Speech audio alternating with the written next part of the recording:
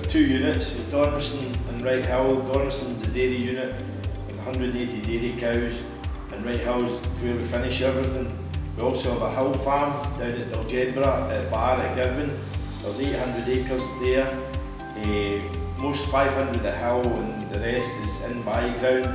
We have 130 beef cows, uh, 80 spring calvers and uh, 50 back end calvers and 750 breeding ewes. Cereal wise, we grow 35 to 40 acres of winter barley, 35 to 40 acres of whole crop, uh, mainly spring wheat, undersown with grass or Italian.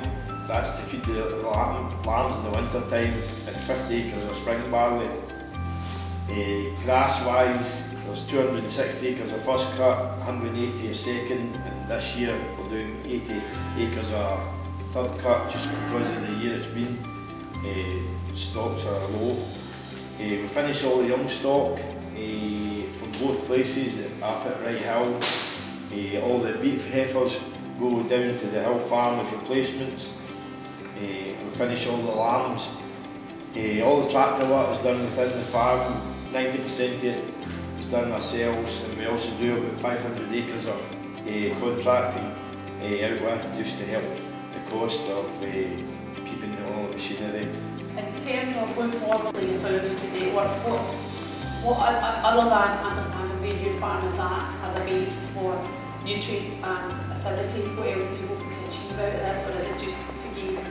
Well, it's to gain that, but also can to help the cost. If you can improve the pH and uh, uh, you're using less fertiliser, It'll, it'll kind of hopefully improve your profitability Yeah. the long run as well.